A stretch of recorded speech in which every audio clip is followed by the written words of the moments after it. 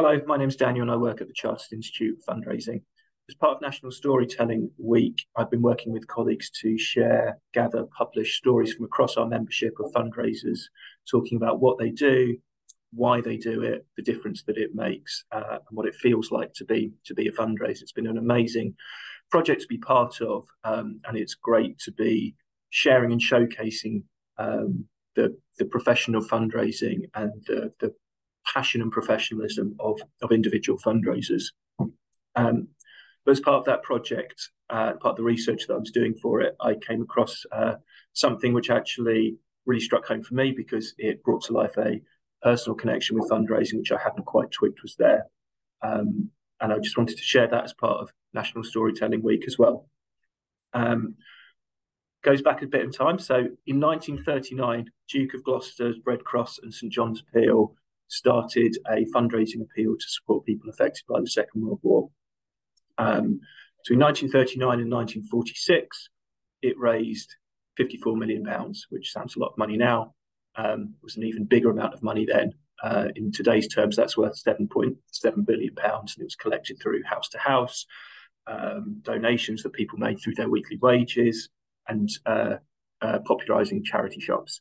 Um, there's a great um, case study on the Showcase of Fundraising, Innovation and Inspiration site to find out more about that appeal. Um, so, probably the most successful fundraising appeal ever. Um, and that money that was raised through that appeal uh, meant that on the 21st of April 1945, five British Red Cross teams were able to go with doctors, nurses, medical supplies, food into the Belsen concentration camp. Um, it's about five, six days after British troops had liberated uh, the camp. Um, and the British Red Cross teams went in there to care uh, and tried to uh, nurse and support people who they found that were still alive in that concentration camp. And one of the people that they found that was still alive, one of the inmates, um, was my grandmother, Esther Brunstein. Uh, she wasn't actually um, really kind of conscious at the point of the camp being liberated. She had typhus. She was really ill. Um, but she always talked about her um, memory of kind of coming around, becoming conscious, being aware of what was going on. Next to her bed, there being a can of condensed milk and a slice of black bread. And she knew at that point something had changed, something was different, and what was in front of her was to save her life. Um, and I had never quite realised that the provision of the care, um, nursing care, the doctors, the medical support, the food, and then the refugee camps that she went that she she went to afterwards, what saved her life at that time, um, was I always had kind of assumed it was the army, it was the state.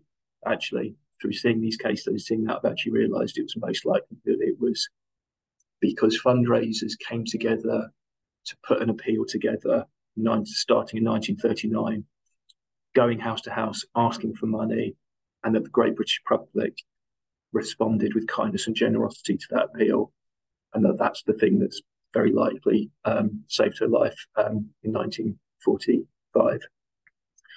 Um, and that story has an has an ongoing resonance as well, uh, because she then went on to tell her story um, to at the UN, to schools, um, at museums, uh, to, to, BBC News, and so on, um, at various points of Holocaust um, commemoration and memorial, talking about the importance of memories of stories of remembering what happened and anti-racism work. And one of the people that she met in in this in in a in a BBC studio actually uh, was Neville Lawrence, uh, the father of Stephen Lawrence, the um, who was murdered um, through um, racist gang violence uh, in London. Um, and in, in an interview in 2021, sorry, in 2012, uh, Neville Lawrence talked about, or he was asked about, how do you get through it? How do you recover from something like that? What inspired you to go on and make a difference and, and share your story and talk? And he talked about meeting an elderly Jewish lady uh, in a BBC studio who could talk about how she could recover from that trauma that that she had from losing nearly all of her family um, through being in a concentration camp, through being displaced. And she said to him, "You've got to let it out. You've got to tell your story." inspire others through what you've experienced. And that meant that Neville Lawrence then felt he should go out to schools, um, to youth clubs, and talk about anti-racism work and um, and equality and racial justice. And I was just kind of putting that together. That almost hundred years, um, kind of spanning uh, a fundraising appeal, generosity of the public, people that benefit from that, and then the difference that that makes echoing over time, repeating over time through people sharing stories, um, inspiring others, talking about the work that they do and why it's so important. All of which, for me, coming back to the fact that in 1939, there was a fundraiser there, group of fundraisers going house to house, setting up charity shops, asking people to give. And the ongoing benefits of that still being felt today.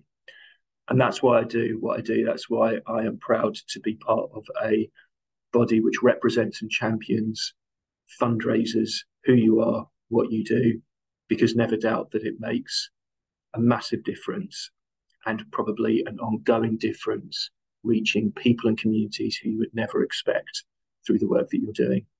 So thank you to all the fundraisers that are doing an absolutely amazing job out there. Um, and the stories that you get, the stories that we share, um, always will bring it home about your passion, your professionalism, and the difference that it makes.